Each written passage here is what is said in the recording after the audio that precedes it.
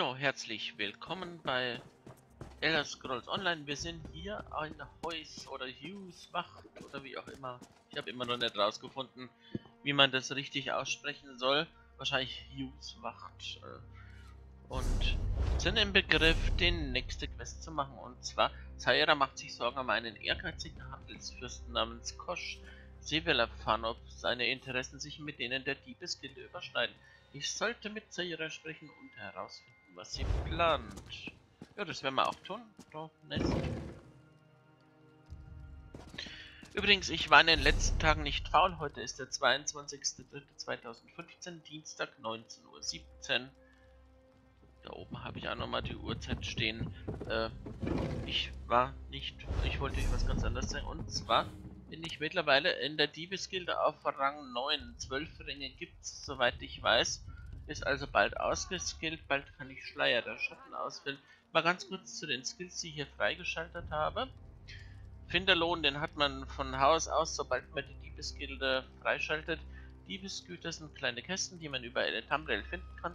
Sie können ausschließlich von Mitgliedern der Diebesgilde geöffnet werden. Das heißt, jemand, der die, die, die Diebesgilden-Erweiterung nicht hat, der kann mit diesen Kisten nichts anfangen. So, äh, Kopfgeld fällt nach 3 Minuten um 46. Euer erregtes Aufsehen fällt nach 3 Sekunden um 36. Wenn ich jetzt da noch einen Skillpunkt setzen würde, was ich jetzt nicht tue, äh, würde das Kopfgeld um 69 nach 3 Minuten fallen, also deutlich schneller. Und das Aufsehen um 46. So wird man das, also das Kopfgeld schneller los. Aber ich denke, ich werde da nicht mehr als einen Punkt investieren. Es geht schnell genug, man kommt auch so klar. Falschen Gegenstände, die bei Hehlern verkauft werden, erzielen einen um 2% erhöhten Preis. Dies gilt nicht für das Schieben von Gegenständen. Muss ich nicht unbedingt haben. Äh, oh. Ich denke, ich werde meine Skillpunkte für was anderes einsetzen. Dann, das hier ist ganz gut, das habe ich gern freigeschaltet. Nachsicht. Ihr könnt euch einmal am Tag herausreden, wenn ihr von einer Wache gestellt werdet. Durch Nachsicht wird die Wache euch wieder verhaften noch euch Gold abnehmen oder eure gestohlenen Gegenstände konfiszieren. Die Wachen werden darüber hinaus eine Minute lang äh, nicht erneut versuchen, euch zu stellen. Außer ihr macht euch weitere Vergehen schuldig. Und das hier ist auch ganz nützlich, zeitiges Entkommen. Wenn ihr euch in einer Stadt mit einem gesetzlosen Unterschlupf im Kampf befindet und ein Kopfgeld auf euch ausgeschrieben ist, habt ihr eine Chance, einen Strauchdieb zu erblicken, eine Interaktion mit diesem Straftipp wird den Spieler sicher in den nächsten gesetzlosen Umfang Unterschlupf befördern. Das ist wohl so eine Art Teleporter-Funktion. Ich hatte aber noch keine Gelegenheit, das zu testen. Achso, äh, der Seid letzte gegrüßt. Skill wäre Schleier der Schatten. Die Sichtweite von Zeugen und Wachen ist um 10% verringert. Die Chance, dass Zeugen eure Taten bemerken, ist geringer. Und ihr werdet von den Wachen nur gestellt, wenn sie näher kommen. Also da werde ich auf jeden Fall Skill einsetzen weil das die Wahrscheinlichkeit verringert, entdeckt zu werden. So, was ist das hier gleich wieder? Ach so, das sind Verbrechensserie. Ah ja, das ist eine, so eine, eine von diesen Tagesquests.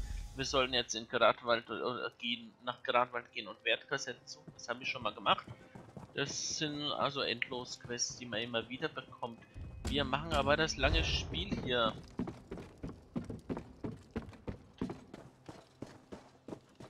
So, Zaira müsste da drüben sein. Was? Ist das der? Ah ja, klar, mit ihr haben... Da müssen ich mal schauen, ob bei Velaya der Schädel da ist, weil mit Velaya haben wir den Schädel ja nicht mitgenommen. Aber hier ist er da, ne? Christian Serrana habe ich ihn ja genommen. Da seid ihr ja. Erinnert ihr euch noch an Silberkralle, den Freund von Welser? Er ist ziemlich dankbar, dass ihr sein Hauptbuch zurückgeholt habt. Anscheinend hat er die Ohren nach Neuigkeiten über diesen Handelsfürsten namens Kosch offen gehalten. Was schert sich die Diebesgilde denn um Kosch? Als Kosch das Lagerhaus von Silberkralle übernommen hat, schnappte er sich damit auch sämtliche Hehlergeschäfte, die wir kontrollierten. Und wenn er es schon auf unsere alten Geschäfte abgesehen hat, ist die Chance recht groß, dass er sogar noch mehr will. Skomahandel, Sklaverei, Dinge, die wir nie angerührt haben. Mhm. Was soll ich eurer Meinung nach tun?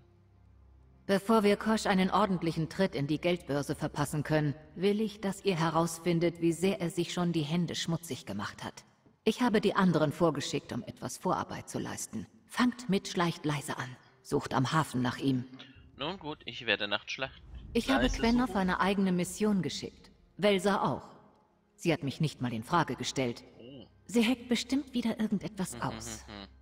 Die Diebesgildel handelte weder mit Skoma noch mit Sklaven. Als Nikolas noch Gildenmeister war, überzeugte ich ihn davon, die Geschäfte mit den Skoma-Händlern aufzugeben. Ganz gleich, was ich von diesem Gift halte. Es ist einfach schlecht fürs Geschäft. Und die Diebesgilde hat nie mit Sklaven gehandelt. Einer der wenigen Punkte, in denen Welser und ich einer Meinung sind.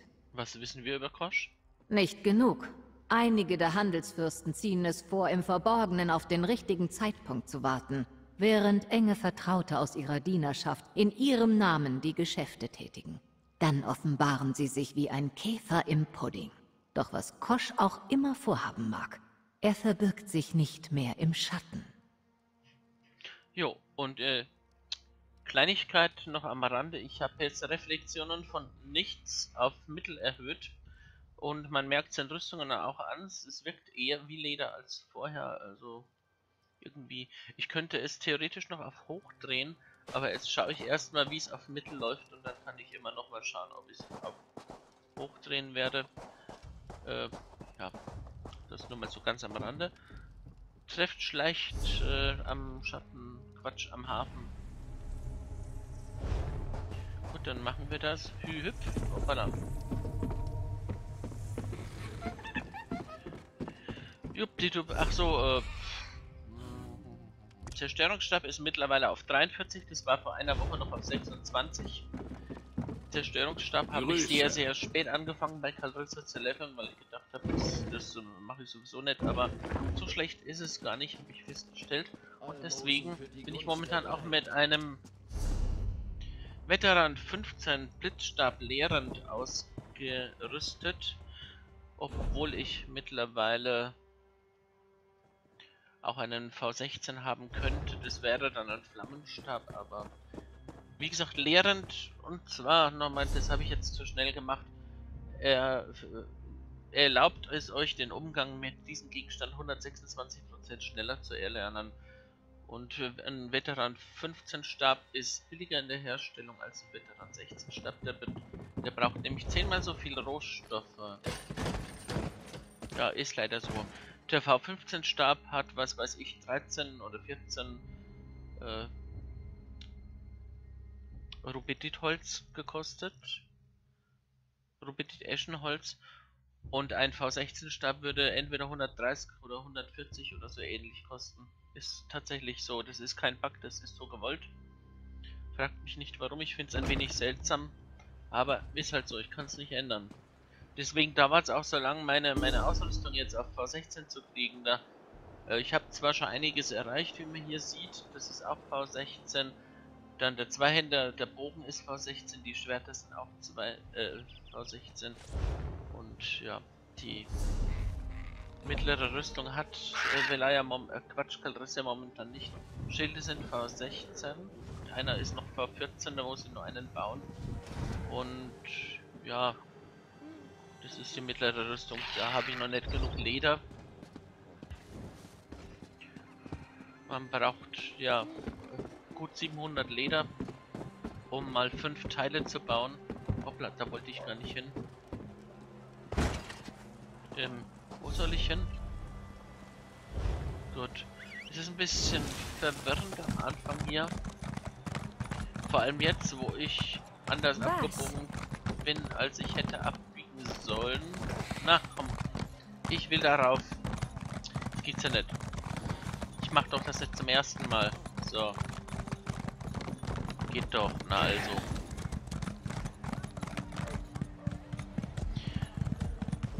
So, inzwischen haben sie zwei kleine Patches gehabt, das heißt, also die, die, damit wollten sie unter anderem die rosa Tierchen, die im letzten Video noch zu sehen sind, die wollten es damit lösen. Ich habe heute schon ein bisschen gespielt und habe keine rosa Viecher mehr gesehen. Ich kann aber nicht garantieren, dass sie wirklich weg sind. Ich habe halt heute noch keine gesehen. Da will ich nicht hin. Mensch. Äh.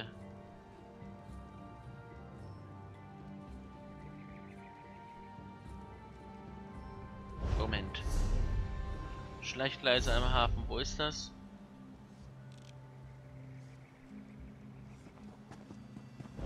Jeden Fall nicht hier. Der Hafen ist da hinten. Ich vergebe meinen Feinden. Vergesse niemals. Ja, bei Carissas Rüstung sieht man auch die Reflexionen jetzt. Also ist schon ein Unterschied. Schaut schon besser aus als vorher. Momentan, wie gesagt, noch auf Mittel. Wenn das gut läuft, werde ich es mal auf Hoch probieren. Und wenn das keine Probleme macht, dann... Ja. Aber ich glaube, zwischen Mittel und Hoch ist der Unterschied so gering. Das merkt ihr auf der YouTube-Auflösung gar nicht. Das kann ich mir eigentlich sparen. Was ist denn da los? Kommt jetzt da eine Treppe oder nicht?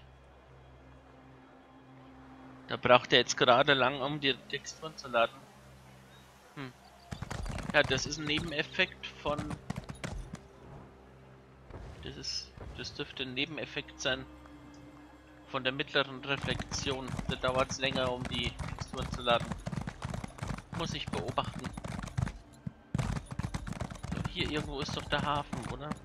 Guck, guck. Ist irgendwie da runter. Sag mal, wie kommt man denn da hin? Bin ich hier richtig? Nein, da will ich nicht hin. Heilandsblechle. Also so, so richtig zu Hause bin ich hier noch nicht. Ich finde zwar äh, inzwischen zuverlässig den Weg vom Teleporter bis hin zum zur Zuflucht, aber woanders finde ich noch nicht gut hin. Also mir scheint es hier richtig zu sein. Ja, das schaut schon eher nach Treppe aus, ne? So soll das ausschauen. Dieser hat keine Zeit für Geschwätz. Ja, diese auch nicht. Hoppala, nein, nicht, nicht darunter stürzen. Meine Güte, äh, So viel zu tun. Mein Gaul Schnaps gesoffen oder was? Ich würde gerne ganz einfach darunter reiten, ohne irgendwie runterhüpfen zu müssen. Ich will ja mein Pferd nicht ärgern. So. Geht doch. Und absteigen. Schleicht leise. Ihr kommt genau rechtzeitig. Was hat unsere geschätzte Gildenmeisterin euch erzählt? Taira meinte, sie hätte euch vorgeschickt, um ein wenig Vorarbeit zu leisten. Gut, denn ich habe etwas gefunden. Der Kapitän der Traumschlange war immer schon an schnellem Geld interessiert. Selbst für eine Piratin ist sie schlampig, so dass sie das ideale Opfer für Kosch ist. Sie und ich haben eine unschöne Vorgeschichte. Haltet sie lieber fern von mir. In Ordnung, wobei soll ich euch helfen? Sie trifft sich in der Nähe mit einem Kontakt. Sie neigt zur Prahlerei. Warum sucht ihr euch nicht ein ruhiges Plätzchen und hört euch an, was sie zu sagen hat? Aber der Kapitän ist ein Gewohnheitstier. Sie bewahrt ihre Dokumente immer in der Traumschlange auf. Schaut dort nach, falls ihr keine Lust habt, jemanden zu belauschen. Ich nehme an, dass was er da in der Hand hält, ist ein Quama-Eiser, ein Frühstück. Ich werde sehen, was ich herausfinden kann. Sammelt so viele Informationen, wie ihr könnt und trefft euch dann mit Quen in der Nähe des Hafens. Sie hat zwar ihre eigene Aufgabe, wird aber zweifellos eure Unterstützung brauchen. Oder ist das eine Frucht? Ich kann es nicht gescheit erkennen. Aber schaut hübsch aus irgendwie. Es könnte ein Ei sein, es könnte eine Frucht sein. Äh, okay, ich sollte mich nicht ablenken lassen. Sammelt so viele Informationen, wie ihr könnt. Und ja, genau. Ihr hattet eine unangenehme Vorgeschichte mit dem Captain der Traumschlange erwähnt. Ich habe dem Kapitän mal erzählt, ich wäre ein reicher Prinz, der ein Schiff sucht, um seine Schätze zu transportieren. Da ließ sie mich ihre Schmuggelverstecke an Bord inspizieren und ich räumte sie daraufhin bis auf das letzte Hemd aus. Nun ja, nicht ganz. Die Augenklappe, die habe ich ihr gelassen. Ähm, ja, ich glaube, ich kann mir vorstellen, wie, was da ablief. Was haltet ihr da genau? Ein Harpyenei. Aha. Die sind einfach zum Spein. Ich käme nie auf den Gedanken, wirklich eines von denen zu essen. Aber sie sind auffällig genug, um von mir abzulenken. Die Stimmt. Leute sagen, guck dir diesen Agonia mit diesem widerlichen Harpyenei an. Und nicht, schau mal da, dieser Agonia hat einen hervorragenden Modegeschmack. es stimmt, es hat, es hat funktioniert. Mich hat das Ei abgelenkt und zwar sogar vom Text. Genial. Lebt wohl. Gut. Dann schauen wir mal ganz kurz. Okay, wir sollen entweder Kapitän Evani belauschen oder dessen Logbuch stehlen. Und dazu muss ich dahin. Ich nehme das, was ich, was ich zuerst. Grüße. Psst. Lust auf leicht verdientes Gold? Oh, später nicht jetzt, Schätzchen. Ganz schlechter Zeitpunkt. Du willst doch keine Zeugen auf YouTube, oder? So. Und da hoch. Vielleicht sollte ich mal in den Schleichmodus gehen. Schleichen mit schwerer Rüstung. Kling, klang. Diese hört viele Gerüchte, aber nur wenig Wahrheit. Schepper, Dengel, Beng. Leise. Soll es denn gleich jeder hören? Aha, ich soll mich da wohl verstecken. Okay, ist mir recht. Benutzen. Eure Leute müssen mit Kosch gesprochen haben. Wir waren auf See. Warum einem Händlerfürsten, der einen Anteil will, von unserem Skoma-Lieferanten erzählen? Sei's drum. Kosch verlangt, dass ich allein in die Zitadelle von Noshira komme. Ins Hauptquartier des Eisenrats? Was hat er denn mit dem... Nein, sagt es mir nicht. Ihr trefft ihn besser, bevor er uns beiden Soldaten des Eisenrats nachschickt.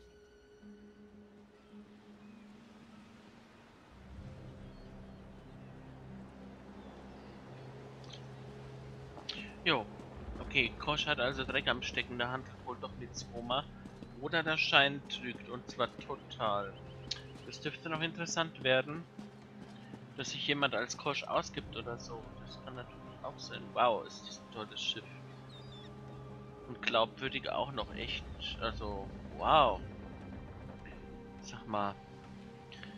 Das, erinnert mich noch an Gothic-Zeiten. Da konnte man, äh, äh, da konnte man in, in Korinis an Bord der Esmeralda auf die Seile da hoch und bis ganz darauf ins Kränennest drauf. Wenn man geschickt genug war, habe ich auch schon gemacht, aber leider nicht für YouTube gefilmt zu dieser Zeit. Ein Freund segelte auf der Vagabund, als ihr Vizevogt Pelidil besiegt habt. Die Geschichten, die er zu erzählen hat. So, Quen am Hafen treffen. Grüße. Grüße.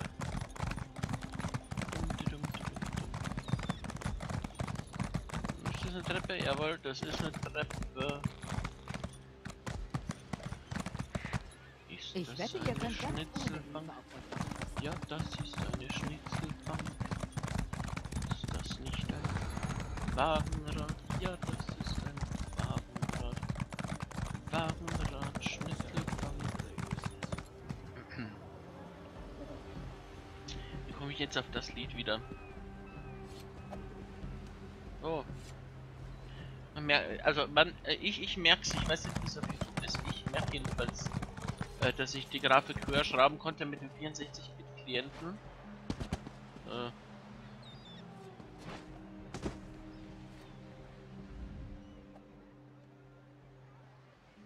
Saira meint, ich soll auf euch warten, wenn ich fertig bin. Nun, ich bin fertig. irre ich mich oder hatte die Stimme von Serana? Äh, Also aus Skyrim. Was habt ihr gefunden? Das überflutete Viertel, in dem Welsa lebte. Die Leute dort wussten nach der Flut nicht, wo sie hin sollten. Einer der Vorarbeiter auf der Werft bot ihnen Arbeit, Nahrung und einen Platz, wo sie unterkommen konnten. Das klingt nicht nach einem Problem. Das habe ich Saira auch gesagt. Wisst ihr, was sie mir antwortete? Hätte Zulguk auch nur einen Funken Anstand im Leib, würde er ihn sich herausschneiden und ihn verkaufen. Ich wüsste längst, was er vorhat, wenn Saira mir trauen würde. Aber ich darf bloß die Lage auskundschaften, während ihr den lustigen Teil übernehmt. Hm. Und was genau soll ich für Zera tun? Zulguk hat ein Treffen mit einem kaiserlichen Kunden in einem Gasthaus in der Nähe vereinbart. Es könnte sich lohnen, es zu belauschen. Oh, das Gasthaus hat ein Zimmer an Ventilias Proximus vermietet. Einen kaiserlicheren Namen habe ich noch nie gehört. Wahrscheinlich der Kunde. Das Schloss des Zimmers wirkte unpassend. In Ordnung, ich gehe der Sache nach und dann? Sucht Welsa auf, sobald ihr fertig seid. Sie trifft sich mit Silberkralle in seinem Laden. Wusstet ihr, dass er einen Laden hat? Ich frage mich, was er verkauft. Quen, stimmt etwas nicht? Es ist nichts. Ich... Ach, es ist nichts. Geht es dabei um euren Vater? Wie könnte es anders sein? Es ist so schwer, all das hier wirklich ernst zu nehmen. Wenn ich an der Akademie mehr gelernt hätte, hätte ich auch schneller meinen Abschluss gemacht. Er wäre gekommen, um sich die Zeremonie anzuschauen. Er wäre nicht da gewesen, als... Dann wärst du jetzt keine Diebin, oder? Das willst du mir sagen. Äh, ihr könnt die Vergangenheit nicht ändern, Gwen. Konzentriert. hm, Das könnt ihr nicht wissen.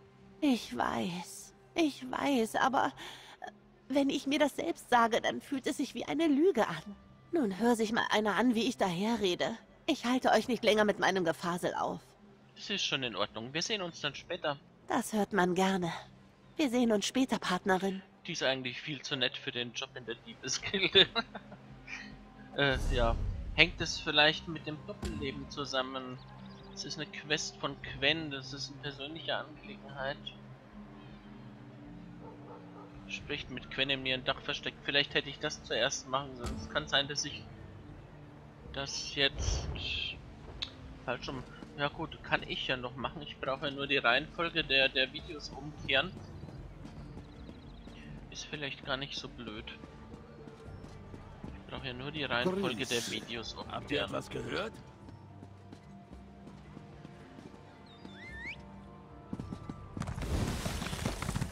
Falls ich das getan haben sollte, die Reihenfolge der Videos umgekehrt haben sollte, dann habt ihr das ja schon gesehen. Das habe ich zu diesem Zeitpunkt noch nicht entschieden. Ihr hättet niemandem von unserer Abmachung erzählen sollen. Ich brauche eure Freiwilligen für meine Experimente. Ich würde meinem Lieferanten niemals das Geschäft verderben. Woher wusste Kosch von unserem Geschäft? Ich habe keine Ahnung. Aber wenn ihr keine warmen Körper mehr liefern könnt, suche ich mir wen anders. Dann betet, dass ich aus der Zitadelle von Nushira zurückkehre.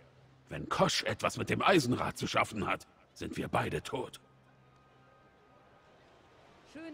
Was, wenn. Kosch etwas mit dem Eisenrad zu schaffen hat? Ich dachte, der Eisenrad, der jagt die Diebesgilde.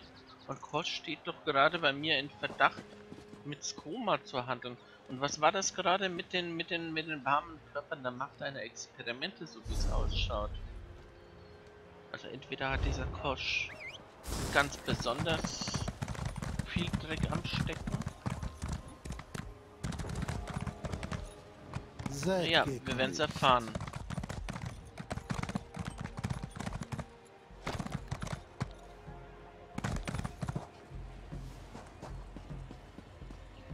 Trashwälzer im Laden von Silberkralle. Ah, meine diebische Freundin. Schnell, wir müssen reden. Das müssen wir, das stimmt. Wie schade, dass ich euch mein Willkommen entbieten muss, denn ich bringe höchst unglückliche Kunde. Was ich euch schon bald eröffnen werde, wird euch sehr beunruhigen. Dafür möchte ich mich in aller Form und in aller Demut bei euch entschuldigen. Raus mit der Sprache, was meint ihr? Ah, der Ausdruck in eurem Gesicht ist unverwechselbar. Er sagt, wenn ich eurem Gesicht einmal die Worte aus dem Mund nehmen darf, Friede sei mit dir, mein außerordentlich gerissener Handelsfreund. Atme zuerst ein paar Mal ordentlich und ganz entspannt durch, ehe du mir verrätst, um was es geht. Ein... Aus. Ein... Aus. Ein Schwätzer. Silberkralle, erzählt mir endlich, was los ist. Welser ist in die Zitadelle von Noshira aufgebrochen.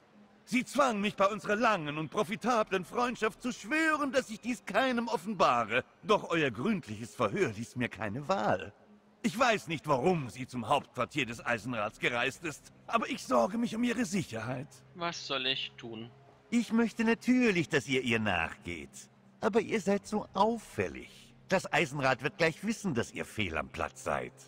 Dann ist es also beschlossene Sache. Ihr werdet euch mit dem prächtigen Perseus Locke im diamantenen Fingerhut treffen. Er wird euch dabei helfen, eine passende Verkleidung zu erhalten. Sagt ihm, dass ich es war, der euch geschickt hat.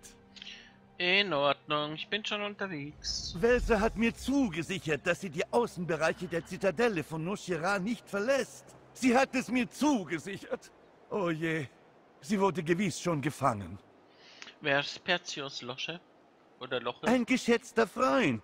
Doch das war er nicht immer. Einst waren wir ernste Rivalen bei der Einfuhr von feiner Seide. Doch er stellte sich als guter Sieger heraus und entlohnt mich bis heute für jeden, den ich an ihn weiterempfehle. Ehrlich gesagt ist er also ein ehemaliger Rivale, aber recht großmütig. Okay. Gut, dann wieder AC. Abas Landung.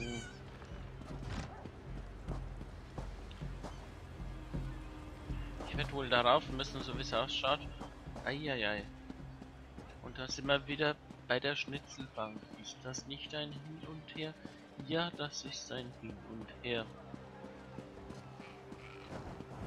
Wagenrad, Schießgewehr, Schnitzelbank, Hin Was und wollt ihr? Her.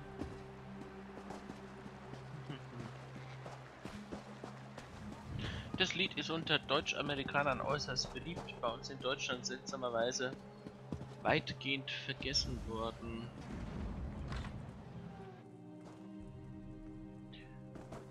Könnte mal nach der Schnitzelbank suchen. Die meisten, die meisten Videos auf YouTube mit der Schnitzelbank. Schnitzelbank Lied, ja, also Lied, Song, irgendwie. Sind aus den USA die meisten. Hm. Hallo, ich rede mit dir.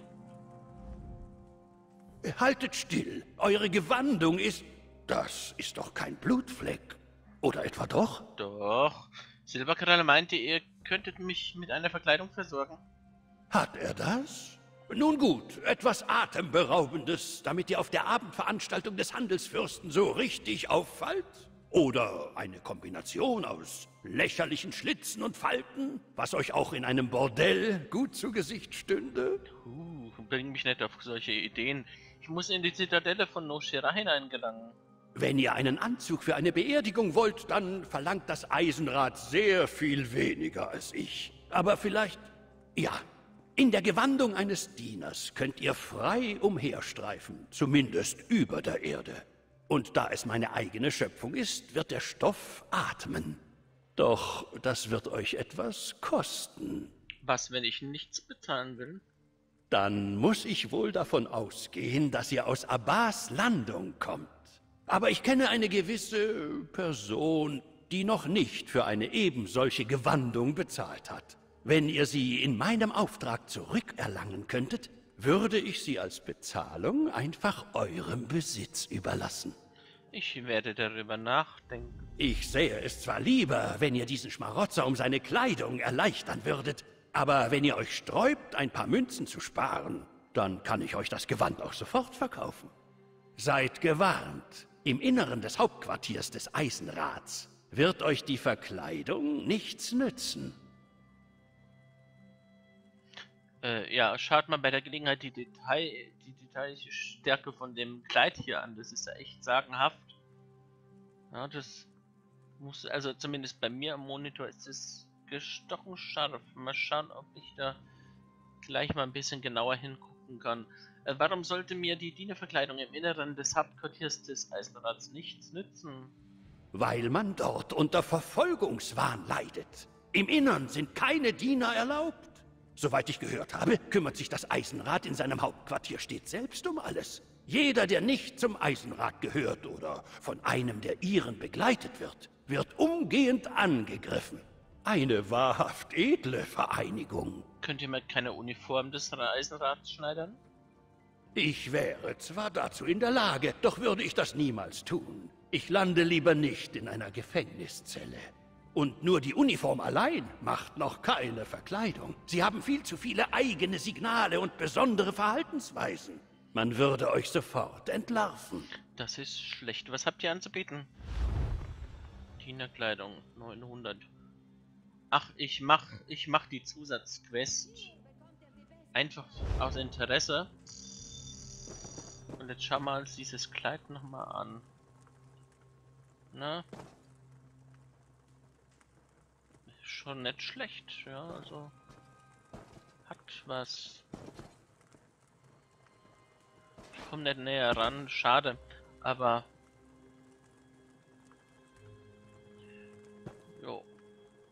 Sehr schön. Und was haben wir hier? So was ähnliches habe ich doch schon mal gesehen. Hm. Okay. Wir haben ja ein bisschen rumgestöbert. Ähm. Ich sähe es zwar lieber, wenn ihr diesen Schmarotzer... Ja, was sagt denn das? Stehlt die Dienerkleidung. Das machen wir auch einfach aus Interesse. Wäre doch schade, wenn ich euch diese Nebenquest... Warte mal, ganz kurz reingucken. Nein, will ich jetzt nicht. Ich wollte nur wissen, was drin ist. Wäre doch... Achso, äh, ich könnte hier mal ganz kurz Cut machen. Vielen Dank fürs Zuschauen. Bis zum nächsten Mal.